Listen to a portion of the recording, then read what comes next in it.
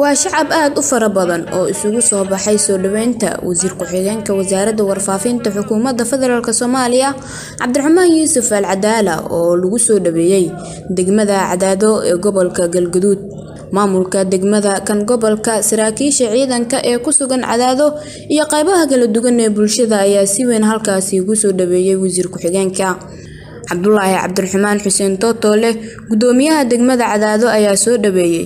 Wasiir ku-xigeenka iyo wafdiga uu hogaaminayo.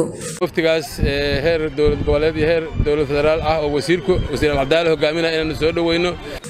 Cabdiraxmaan yuusuf al cadaala wasiir ku-xigeenka wasaaradda warfaafinta xukuumadda soomaaliya ayaa sheegay in safarkiisu uu ku aadan yahay.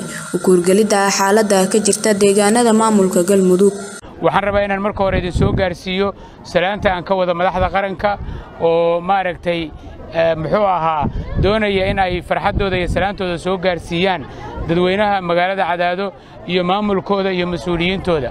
Intaas ka sokow waxaan halkaan u imid in aan idinkala qayb qaato dadaallada horumarinta ah iyo nabadgelyada iyo wanaagga ee aad u haysaan dadkiinna iyo deegaankiinna ee wakhtiga badan aad ka soo shaqaynayseen.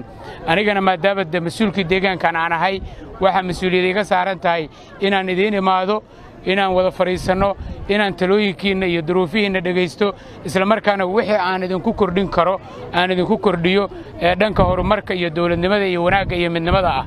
Aniga iyo dadka ila socda oo ay ku jiraan muxuu aha ugaasku uu ka mid yahay guddoomiyihii hore sidoo kale taabwaanka weyn ee cabdikariim faarax qaarey adeerkay cabdikariim jiir uu ka mid yahay. Farxad bay noo tahay inaan idiin nimaadno